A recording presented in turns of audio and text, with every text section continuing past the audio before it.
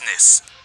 Tall things. At first, I didn't know they were up there, but one day I was watching some Teletubbies, sipping on my sippy cup, and enjoying a relaxing day of not having to worry about taxes. When suddenly, the power goes out. What?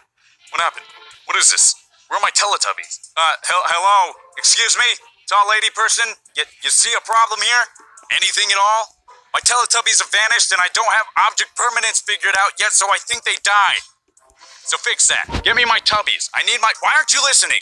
Hmm. Seems like the power went out. I'll be right back, sweetie. You stay right here. Finally! Now, what am I supposed to do?